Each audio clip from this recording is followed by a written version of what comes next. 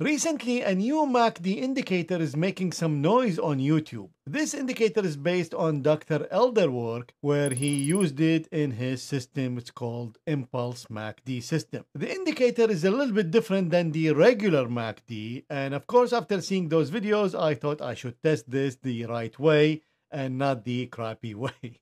Now, I've done a couple of videos on MACD, and the most important one is the one in the Algo versus Crap series, and you can watch that over here. So before we jump into the testing, let's see the regular MACD and how we can use it to build strategy. So this is the regular MACD indicator. You can see here I have the 4-hour time frame of the S&P 500 E-mini futures. And this is the MACD, which is based on two moving averages, the 12 and the 26. And basically, the premise is when the crossover between the green line and the yellow line, which are the MACD and its signal. So when the crossover happens above zero line, then we go short, and when it happens below zero line, we go long. Of course, when the market is trending, then this works really nice. So, for example, we look at this one here this is the crossover happen above zero and then we ride this trend down until this part. And then for example we take the last one here and it crosses below zero above and of course again it's working beautifully. But then when the market is sideways then we whipsaw it so for example this cross didn't do anything this cross didn't do anything and this cross didn't do anything. And that's the problem of the regular MACD. And of course, it's the problem of all indicators that measure trend. So basically, when there is no trend, you get a lot of whipsaw. So here is the new MACD Impulse. This is the one based on Dr. Elder work. And you can see I put 24 and 9 just to match the look of the regular MACD.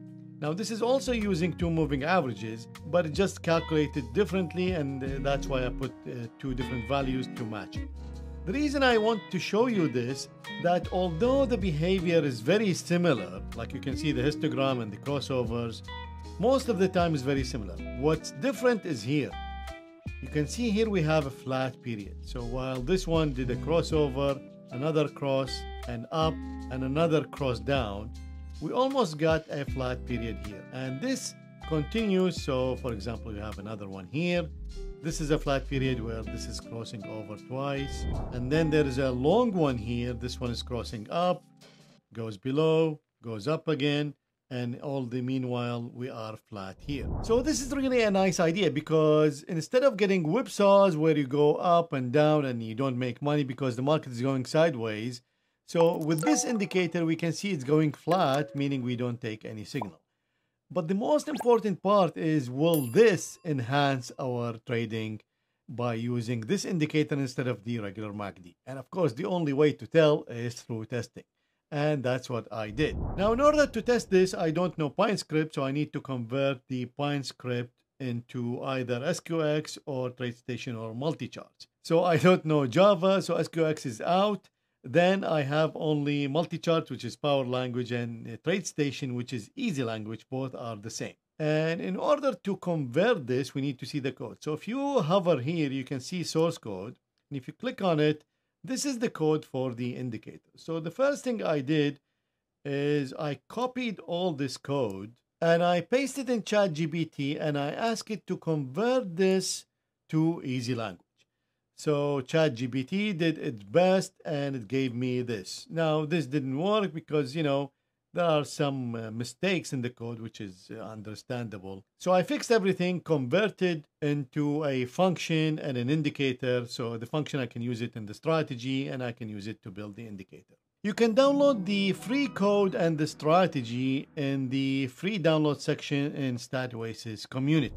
When I did the MACD testing in the Algo versus Crap series, I used just the crossover above and below zero. And I noticed in this new wave of videos about MACD, they are trying to find a level where this crossover happens. Of course, since most of these videos are noobs, so they're trying to figure out with plotting a line and then of course manually trying to trade. And of course this doesn't work for us algo traders. So what the other videos suggest is to pick a level for example here and then you pick these valleys to trade the crossover. And of course you can put another line here. Let's say for example this one And so we trade only these peaks. And that way we avoid these small signals, which theoretically should not work because they are not significant. Now, this will be extremely hard to do. Of course, uh, you have to do it manually, and then each instrument will have its own level for peak and valley. So, a lot easier way to do is through highest high and highest low. So, you take the MACD and then you just go back, let's say 100 bars, 50 bars, 40 bars, whatever you like, and say, okay, that's the highest high. So, if now MACD make a crossover above that highest high, then we take the signal. If it's below the lowest low, then we take signal. A really simple but clever solution to use MACD. So now here is the MACD impulse indicator with the highest high and the high and the lowest low. So you can see these gray lines. This is the highest high and this is the lowest low. And of course, when we make a crossover above this highest high, then we take the signal and below this lowest low and also we take the signal. Okay, so let's start our testing. So this is the S&P 500 ES.D. This is the daily bar daily session. I have data here since 2007. So I did an optimization for the two moving averages and the highest high and lowest low look back period and the displacement. And you can see we have uh, 43,000 iterations. And if we filter for average trade greater than 100.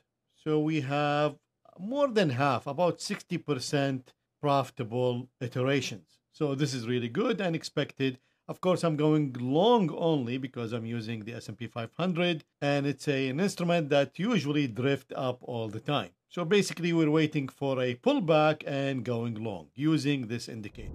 So this performance is very close to the regular MACD because in both cases we are waiting for a peak and a valley to take the crossover. So we're already skipping all the whipsaws and this new indicator with the flat period in the middle actually doesn't perform here. But the other strategy we can use to use this indicator is to wait for this flat period to happen and then take the breakout.